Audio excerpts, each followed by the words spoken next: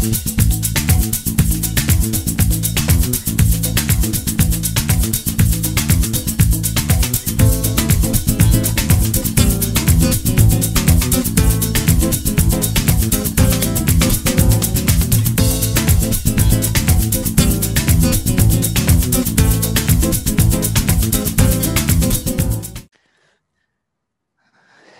can't miss that. All right. So it's a worldwide view of the best of Australia and New Zealand. And as I was mentioning, um, well, th- my name is Jennifer Burge, and thank you so much to Kristen and Sonal for organizing this and for the um, for the destination series from Global Ties Arizona.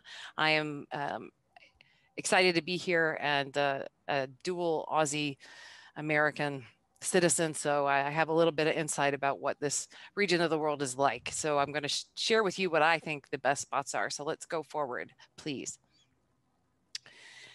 In Australia, uh, every gathering, pretty much, whether it's a business meeting or a community meeting, um, but something like this, we would start with a land acknowledgement. So I would like to begin by acknowledging the traditional custodians of the land on which we gather today and pay my respects to their elders past and present. I extend that respect to the Aboriginal and Torres Strait Islander peoples here today. And it's funny uh, in the United States, you know, you never hear anything like this. You never hear any acknowledgement of the traditional landholders. But uh, in Australia, it is it, most meetings will start that way. The picture here is one that I took, uh, and all the photos are mine, by the way. Nothing is internet robbery. Um, this picture is from Kakadu National Park. The Aboriginal people, there when their DNA was studied, there is evidence that their ancestors go back at least 50,000 years. And Kakadu National Park is in the uh, Northern Territory, and it is known the the drawings, the cave drawings in that particular park represent one of the longest historical records of any groups of people in the world. So the some of those drawings from this particular park are 20,000 years old. And I can remember standing there looking at these thinking, how is that even possible that I can still see this? Anyway, what's next is the wine. We're going to start with uh, New Zealand. So if you would go forward, please. Oh, sorry. and we're not joke uh, so why why do you hear this american voice talking about australia well because i am an aussie citizen these photos are from my citizenship ceremony on july 14th 2017 when i became an aussie and the only reason i put these pictures in here was for actual evidence that i am a citizen and number two because i found it absolutely hilarious that they had a screen of the of Queen Elizabeth at the ceremony that everyone should take pictures with. And so obviously I had to do that. And no disrespect to Her Majesty, but I do find that really interesting. I love Next. that. I think it's now, now we can get to the wine. The, the wine is so much more interesting than looking at uh, my photos of with the flag. So the first wine that uh, we wanted to share with you tonight is the it's the Sauvignon Blanc from New Zealand, and the winery is called. And I don't know if you have been able to taste it or if you were able to find it. Kristen, oh, it's like magically disappearing, not even by my hand. But um, if you were able to find it, it's really delicious. So thank you, Kristen, for finding this. She found it at Costco and it's awesome. So this is one of the newer wineries in um, New Zealand. It's the name Craggy Range. Uh, the only reason I put that picture of myself in here is because in the background you see those mountains and that is the Craggy Range that surrounds the actual winery. And that's what's on the label as well. So that's what the winery is named for are the mountains that surround it. It's absolutely a stunning spot that produces some killer wine. So if you did, if you were able to find it, I hope you enjoy it. Next. So New Zealand vital statistics. We will, we're going to start with going through the top spots of uh, New Zealand, at least according to me. You will see a repetitive theme where there is a lot of water and a lot of wildlife in all of my photos. New Zealand is uh, has a population of under 5 million people.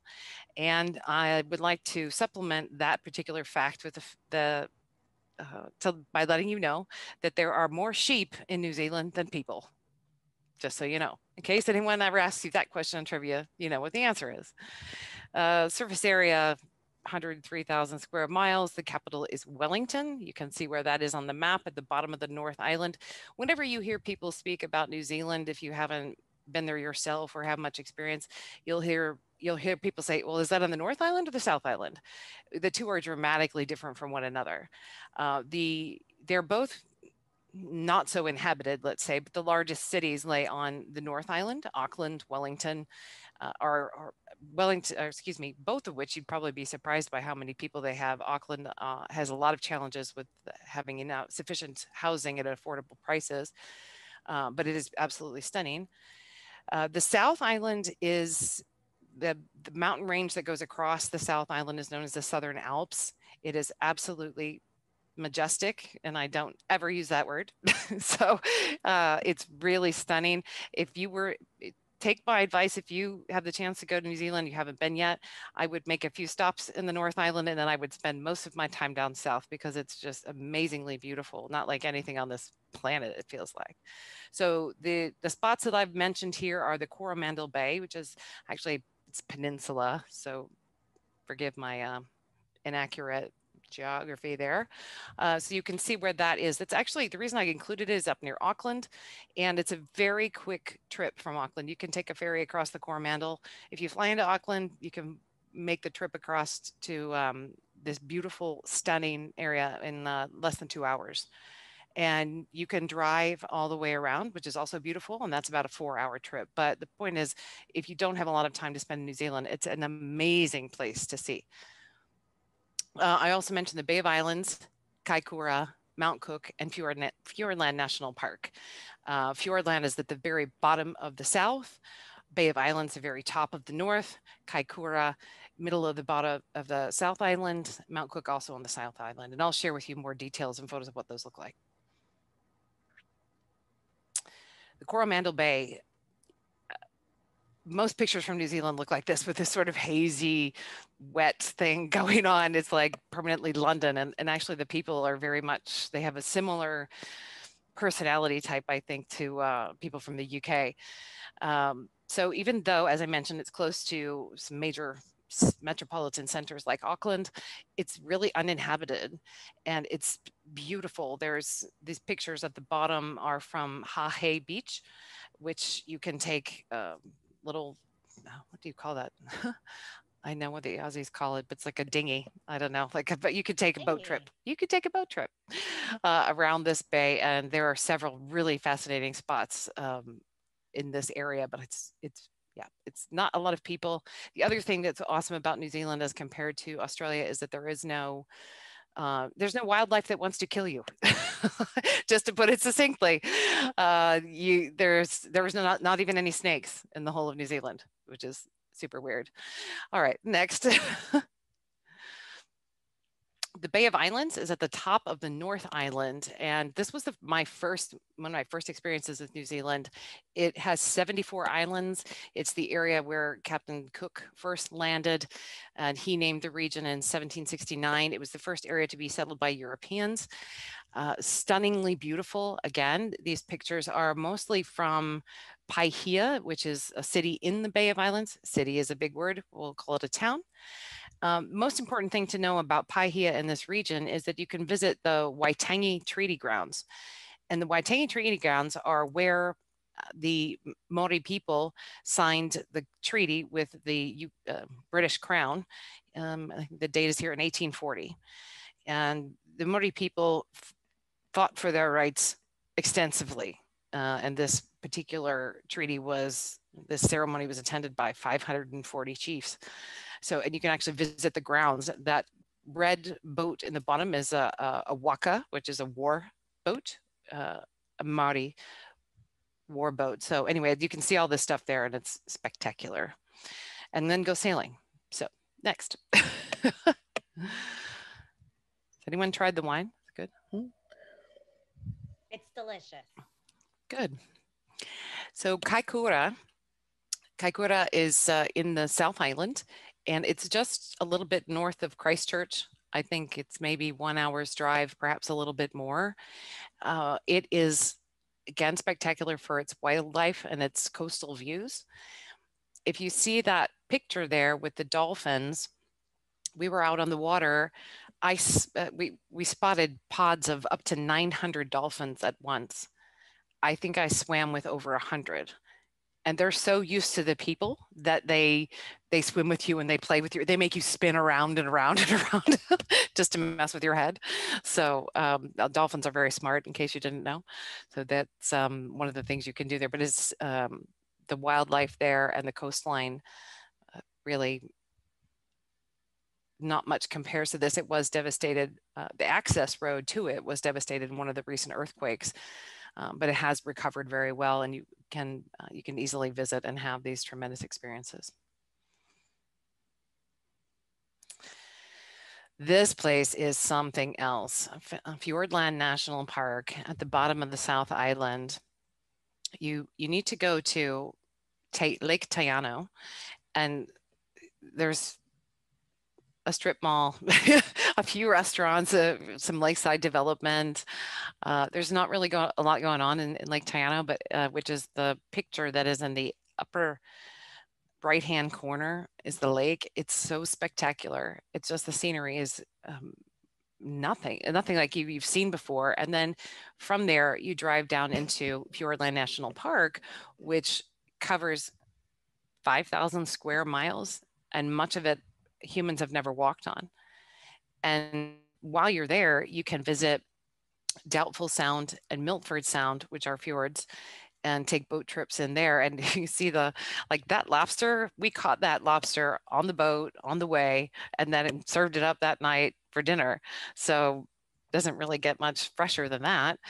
Uh, it's amazing to me though. This, if you look at the picture on the upper left hand side, that's Milford Sound. And to me, it just looks prehistoric. I mean, that's just the feeling when I have there, it's because it's just, there's hardly anybody around and it's not exactly widely trafficked.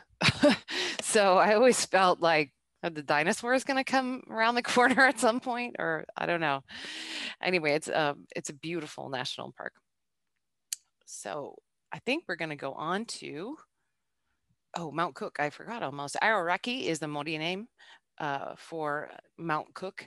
Mount Cook, it's it's uh, a similar situation. We have a lot of uh, places in the United States which are going back to more traditional names. That's the same for Mount Cook. Uh, it was named somewhere in the 19, 18, 1900s, and then now it's more commonly known as Aoraki.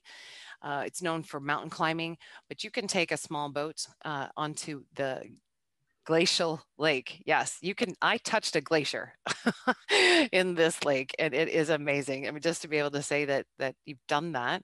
Uh, I was here in 2010, and at that point, you know, you could still see things melting at a rapid pace. So um, I'm not sure what the situation today is today. I know that there are other spots in New Zealand where I've actually climbed on glaciers, like Franz Josef, which you're not, you can't access anymore you, uh, you can't climb them because they're right, they're melting too quickly. Next.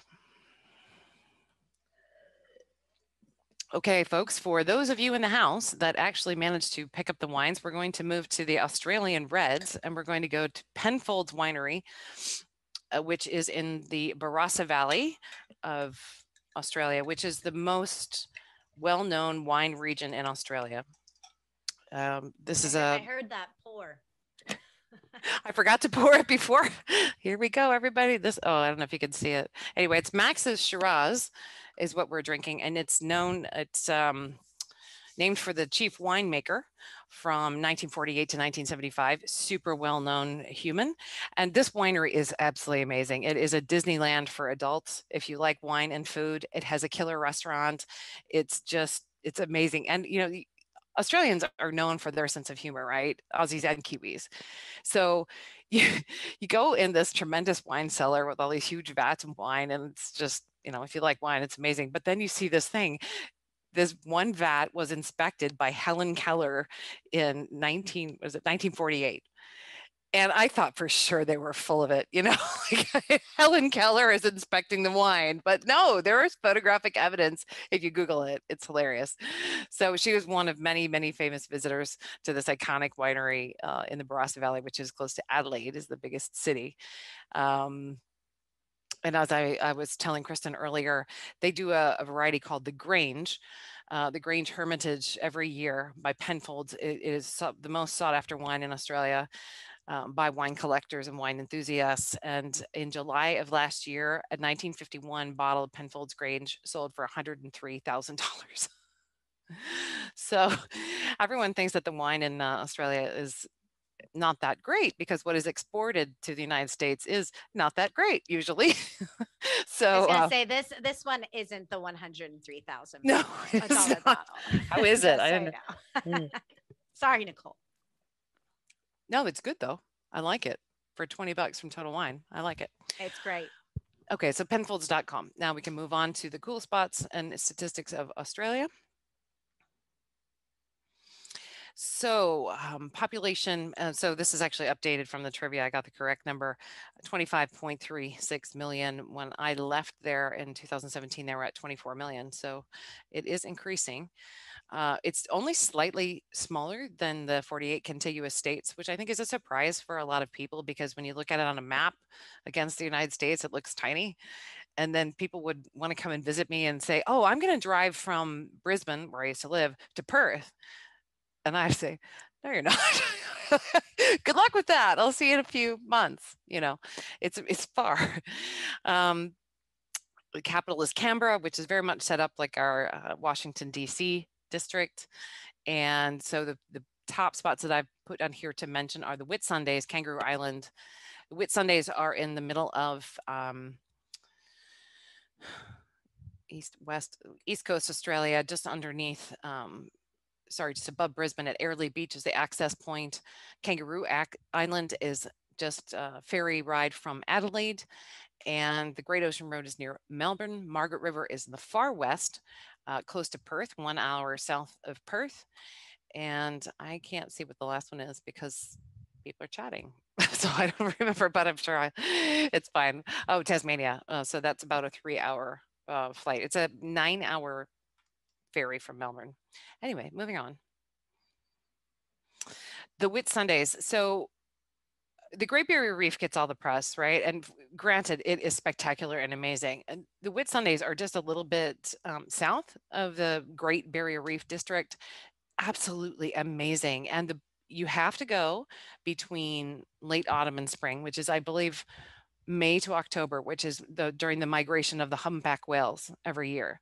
So not only do you get to see this incredible marine life underwater, but you can hear the whales while you're doing it. Um, you see there manta rays, whales, that island there, or excuse me, the beaches, um, Hill Inlet and the Whitsundays, which I think is probably the most spectacular beach I've ever seen in my life. So amazing. Kangaroo Island off the coast of Adelaide. Uh, very few people have been here. This is the island we were talking about that is known as the Isle of the Dead. Uh, it is in the Aboriginal language. It is it's separated from the mainland 10,000 years ago. And so the biodiversity in this region is the kangaroos look incredibly different on Kangaroo Island than they do on the mainland. And I could I should have shown you pictures, but I didn't. So anyway, it's it's stunning. But the energy of this island, if you're one of those people that really gets into that sort of feeling and vibe of a place, there's nothing like it in the world. The colors, the the things that I've seen happen on this island a couple of times that I've had the chance to visit are amazing. It's also very remote and difficult to get to. Just saying. Next. the Great Ocean Road, the largest war memorial in the world, built by ex-servicemen from World War One by their counterparts who came back um, after after the war 50 151 mile stretch of road southeast of australia so you can access it from melbourne it is quite an amazing drive i tried to get like the feel of driving it with those photos at the bottom because those the cliffs are really really steep and so uh, it's while it is thrilling and beautiful uh, and is the the koalas in there are at cape otway national park and one evening i spotted 16 koalas uh, and just hanging out in the trees. It's completely spectacular. But if I've also seen a great many accidents on this road and not uh, not fender benders. So if you go, be careful and don't drive in the rain. Next. Margaret River. So as you might have guessed, I am a wine enthusiast and I have been to pretty much every wine reason, region in Australia. My favorite is Margaret River. It is one hour south of Perth. It is in Western Australia. Perth is closer actually to Singapore than it is to Sydney. It's very remote. But what is special about this area is you have these absolutely spectacular beaches, amazing wine, incredible food. It's like the best of all possible worlds. if you ask me, I would just stay there forever, except it's incredibly remote. Um, it's also known for shark attacks, in case you wanted to know. the area is a little bit dangerous in that way, but it is so worth that long trip. Next. Tasmania. So everyone, I mean, I think, doesn't everyone think Tasmanian devils? I mean, who doesn't think that, right? So in the bottom, you can see there's a Tasmanian devil, the bottom left. And I actually have pet one of them. There is a sanctuary, a Tasmanian island, sorry, Tasmanian devil sanctuary uh, near Cradle Island on Tasmania. You can go there, you can learn about them. And I'm not even joking. You hear they the way they sound, they sound like the Looney Tunes character. You know that weird growling noise that the Tassie used to make. They sound like that. But anyway, I pet them. I watch them rip apart things, you know, meat and stuff is craziness. But they actually are roaming around like mad in Tasmania, which is incredible. So that picture there at the top is Wineglass Bay. In the bottom, um, those two photos in the bottom right are uh, Port Arthur. Port Arthur is a penal colony that was established in, uh, in Tasmania in 1830. Um, it is enormous. It is, there was a lot of research done there that wasn't exactly pleasant to the human psyche. Uh, experiments that they did on prisoners back in the 1800s. Uh, so it has a very surreal feel. Um, but that's this is how Australia came to be. Um, that's the first people that arrived. So next. so thank you very much for traveling with me. Uh, this last photo is a picture that I took on Moreton Island. Uh, my favorite thing to do in the universe, uh, in, in the universe, in Australia, is to drive on the sand and my four-wheel drive uh, across these sand roads and islands. And I didn't put that in any of the must-dos because honestly, you need to work up to that. it is not for the faint of heart. It can be really terrifying, but is also super fun. So uh, a little bit about my company there and where to find me. And sorry, Kristen, that I talked three minutes longer than I was supposed to. You're fine. You know, I, I'm going to leave this up for a little bit longer. And actually, I mean, Jennifer, I don't know if you want to add anything about WorldWise before we go into into the Q and A. The only thing that I'll mention is uh, that I started the company when I moved back to the States and I came back to Arizona after Kristen mentioned 17 years in a lot of countries. And I thought, what do I do with all that experience implementing projects in 15 different countries and traveling to over 50? And really what I wanted to do was help people to do intercultural business, international business, and communicate across borders and give them information that I wasn't given in the significant amount of places that I was dropped into. so that's what I do today is I help people do business across borders. And um, it's a little bit about me and all of that. Awesome.